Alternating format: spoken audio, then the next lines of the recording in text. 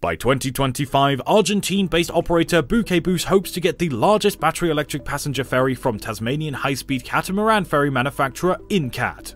Now that's an exciting one. We need to know more about this.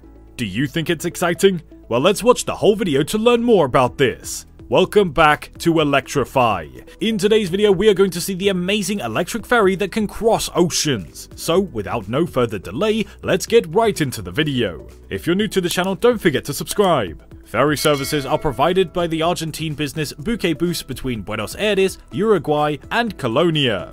In addition, the firm runs a fleet of buses from Montevideo, Colonia, and Piriápolis to Termas del Arapey, Termas del Daymán, Salto, Uruguay, Carmelo, Atlantida, La Paloma, La Pedrera, and Punta del Diablo. Incat constructed a new boat in 2013 with the name Francisco after Pope Francis. It will be one of the fastest ferries in the world operating on the Buenos Aires Uruguay route. Its top speed was 107 km an hour. Its capacity was to hold 150 automobiles and 1,024 people in addition to its personnel. Incat Tasmania is an Australian high-speed craft or HSC Triton ferry maker. Its largest sea-going passenger and automobile ferries have been a commercial success, but it has also constructed military transport and, as of 2015, smaller river and bay ferries. It was started by Bob Clifford and is headquartered in Derwent Park, a neighbourhood of Hobart, Tasmania, Australia. Incat Tasmania relocated to its current location in Prince of Wales Bay in 1989, enabling it to build larger ships. Incat then produced its first 74 metre fast catamaran ferry in 1990. A number of other companies were also building large vehicle carrying ferries out of aluminium at the same time. Incat supplanted numerous monohull ferries and the majority of planing hull and hovercraft series during the course of the following 10 years. Due to the popularity of this novel ferry, other shipyards all over the world began using their facilities to construct big aluminium catamarans for transportation of heavy vehicles. Buquebus, a ferry operator in South America, has placed an order for the largest aluminium ferry in the world, which will use liquefied natural gas or LNG and diesel fuel for power. The 130 meter planning ferry that will travel between Uruguay and Argentina will be constructed by Incat Tasmania. The finished ship will be the biggest aluminium ferry ever constructed and the ninth for the Incat clients. This longest ferry would operate alongside other ships built by Incat that serve the ports along River Plate connecting Uruguay and Argentina. Although switching to electric propulsion necessitates a considerable overhaul, Clifford claims the business would swap out 400 tons of cells for 500 tons of equipment and gasoline tanks to keep its low weight. Clifford adds that constructing the ship out of aluminium rather than steel might reduce its weight by half, and that adding electrified ferries would not increase the cost of the ship in comparison to conventional ships. The first plan called for a vessel with two aluminium hulls joined by a bridge section, a 2,100 passenger capacity including crew, and space for 226 automobiles. Its peak speed was predicted to be roughly 37.5 knots, and its four dual fuel engines would burn LNG. Buquebus has since requested that Incat investigate the possibility of using batteries and electric vehicles in place of the LNG power plant. However, a lot of ferry operators preferred conventional catamaran designs, and the small market for fast incats grew congested with suppliers who were willing to undercut one another in order to maintain the viability of their shipyards. Two manufacturers of big catamaran ferries, Incat and its Perth-based rival, Austal, survived the industry's ultimate demise. Although Incat had to shrink, the firm continued to build ferries and create larger, more effective designs after spending a brief time in receivership. Incat Tasmania's employment increased quickly in 2016 due to its diversification into smaller bay ferries in 2015, as well as a rebound in the market for ferries that can transport heavy vehicles.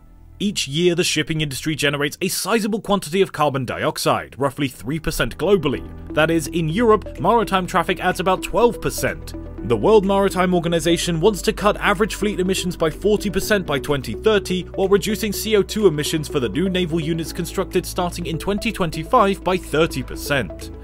The changeover can be significantly aided by electric ferries and ships. Since they often travel the same routes, zero emission ships are a great area to start electrifying since it's simple to install charging infrastructure. Incat Tasmania chairman Robert Clifford previously spoke with Passenger Ship Technology about the use of LNG in fast ferries. Quote, LNG is here to stay. While it might not be the end of the story, it will be here for a long time, even if the weight of the requisite gas tanks would be an issue for fast ferries. We could also live with tanks. We foresee greater progress as tank technology progresses and makes them lighter than they had already been previously. End quote. The hull of 096 vessel is listed as under construction on Incat's website, while Riviera Maritime Media says that the vessel has been a planned peak speed of 25 knots. However, little information has been made public at this point in the development process. And with that, we come to the middle of this video. We saw the origin of the ferry and now we know a little more. Continue watching the video, but before getting into the rest of the video, subscribe to our channel. Until shore-based charging options are available, the new ferry will also include multi-fuel generators as a stopgap measure. After that, the fuel container and generator components will be removed, and this ship will run on electricity alone. Retractable charging cables, which are anticipated to be handled both overnight top-ups and 30 to 40 minute rapid charging, will be positioned port. According to reports, Incat suppliers are working to develop battery tanks and motors, and if all goes according to plan, Buquebus may foresee receiving the world's largest zero carbon emissions lightweight ferry sometime in 2025. Electric ferries will not only protect the environment, but they'll also save their operators money. The first ferry in Norway to be entirely electric claimed to have reduced expenses by 80%. Moreover, Ellen, the allegedly biggest electric boat in the world, which runs in southern Denmark, contributes to a yearly reduction of 2,000 tons of carbon dioxide emissions. Argentina and Uruguay are connected by an all-year-round boat service that runs between Buenos Aires and Montevideo. Depending on the boat company, the trip from Buenos Aires to Montevideo takes between 2 and 4 hours and 45 minutes. Given its short duration, it serves as crucial transportation link for travelers through South America. The cost of the trip depends on the operator, the season, and if you're driving a ferry. The peak season frequently sees increased prices. In general, outside of the peak season, off-peak travel is when you may get the lowest ferry tickets. With contracts confirmed for the following four years, Incat Shipyard is now quite optimistic about receiving more orders for large vessels. To allow the building of the new boats in Incat's extremely strong order book, the workforce, which currently numbers over 600, will be increased. The passenger area will have tourist, business, and first class seating, as well as the largest duty free retail area ever built on a fast ferry, a more than 1,000 square meter space that has been completely decked out. The vessel will be the first high-speed boat designed under the HSC code to be driven by gas turbines utilizing LNG as the main resource and naval distillate for standby and auxiliary usage. It will also see the standard implementation of LNG-driven dual-fuel engines inside an Incat high-speed ferry. Its peak speed was predicted to be approximately 37.5 knots, and its four twin fuel engines would burn LNG. But now Buquebus has requested that Incat investigate substituting the LNG power plant with cells and electric motors. There aren't many specifics available at this time, but the Incat website shows that the whole 096 vessel is still under construction and that its highest target speed is 25 knots. Multi-fuel generators will still be installed on the new ferry as a temporary solution until offshore-based charging is possible.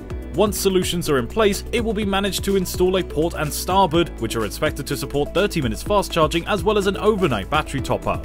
And with that, we've come to a close. We saw some amazing features of the ferry via Incat. What are your opinions on this ferry? Do you think that they can take this many people and cross oceans? Share your thoughts down in the space given below. If you enjoyed our video, do like, share, and subscribe to our channel for more such content, and also ring the bell icon for notifications. Watch some other videos from our playlist too, and we'll see you in the next video.